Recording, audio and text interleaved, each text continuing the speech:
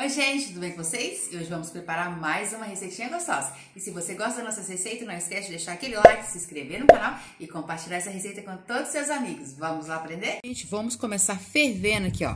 200 ml de óleo, 200 de água e 200 de leite.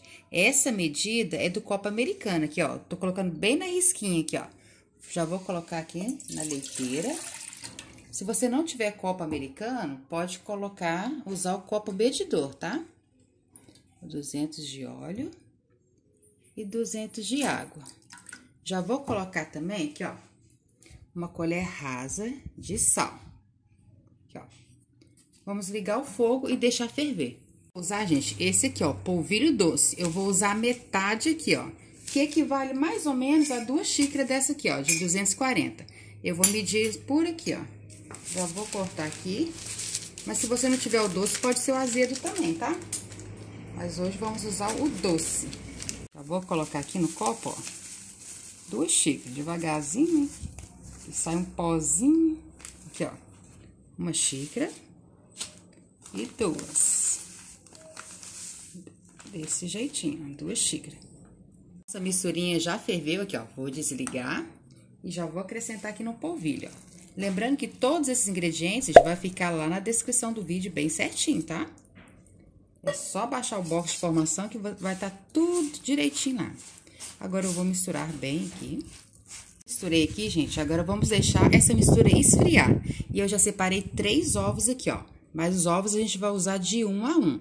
Vamos colocando até dar o ponto certo aqui dos biscoitos. Mas vamos esperar esfriar. Essa mistura já esfriou, agora vamos colocar os ovos. Eu vou começar colocando dois ovos. Um e dois. E vamos misturar aqui. Essa massa, gente, tem que ficar uma massa molenga, porque a gente vai fazer os biscoitinhos no saquinho, tá? Então, tem que ficar a massa bem molenga. Eu vou misturar aqui pra ver se tá no ponto certo. Se precisar, eu coloco mais ovo. Já vou colocar o terceiro ovo, gente. Precisou de mais um ovo. Aqui, ó, três ovos. Agora é só misturar. Olha só, gente. Esse ponto aqui que a massa tem que ficar, ó. Se os ovos for muito pequenos, às vezes pode usar quatro ou até cinco. O meu, como tá um tamanho bem grande, mas a massa tem que ficar molenga assim, ó. Esse é o ponto certinho da massa, tá vendo, ó? Desse jeitinho, ó. Só, gente, eu já separei aqui, ó, um saquinho, ó, pode ser saquinho de açúcar ou próprio saquinho do polvilho. Vou colocar aqui nesse copo comprido, ó. Se você tiver é, saquinho de confeitar, é melhor ainda. Vou colocar aqui e nós vamos colocar o nosso polvilho aqui dentro, ó. Vamos colocar ele todo aqui dentro. Pra gente fazer os nossos biscoitinhos. E eu já coloquei o forno pra pré-aquecer já. Meu forno já tá ligado a 180 graus. Colocar tudo aqui dentro. Vou cortar a pontinha aqui, ó, com uma tesoura. E vamos preparar aqui os nossos biscoitos. Não precisa juntar a forma, tá? Agora é só colocar assim, ó. Desse jeitinho.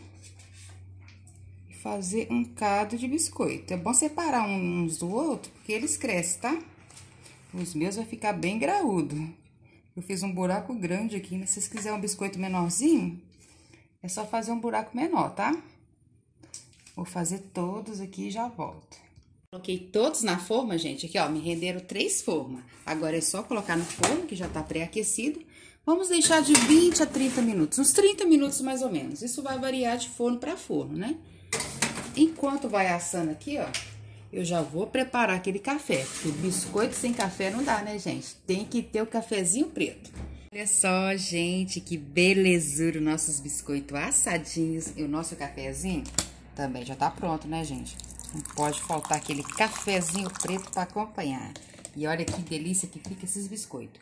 No meu ficou 40 minutos, gente. Isso pode variar de forno para forno. E olha só como que fica, ó. Bem crocante, bem gostosinho. Olha isso, gente, olha. Olha. Olha que trem bom. Hum, bora a gente tomar café? Bora comer essa delícia? Eu espero muito que vocês tenham gostado. Se gostou, deixa o like, se inscreva, compartilha. E eu te espero no próximo vídeo. Tchau, tchau.